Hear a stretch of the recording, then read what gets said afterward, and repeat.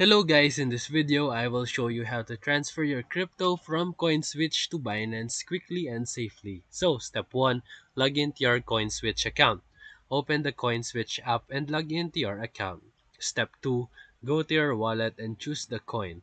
Tap on your wallet balance and then select the coin that you want to transfer, for example, Bitcoin or USDT.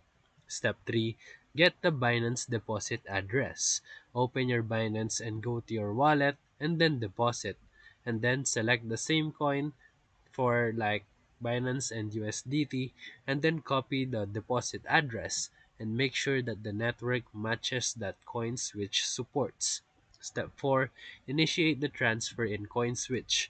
Go back to CoinSwitch and enter the Binance wallet address. Select the correct network and input the amount that you want to send.